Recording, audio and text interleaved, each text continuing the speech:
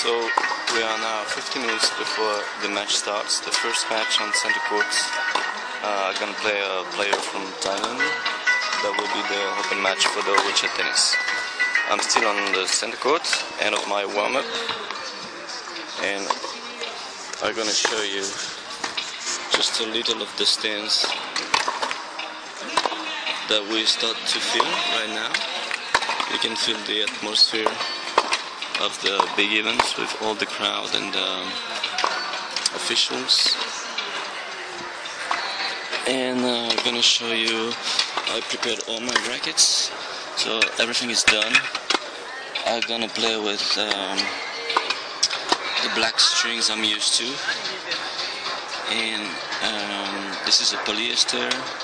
Um, which is only uh, 20 kilos that's what I'm using and I made all the other grip. What I'm doing is that I'm taking off the, the grip from the racket to use only one other grip. So you can see the frame of the, the grip where I can feel exactly uh, the position of my hand on the racket. So here's my bag. I also play with gloves. And uh, Chair which is uh, ready for the big stocks. So I hope you're gonna enjoy too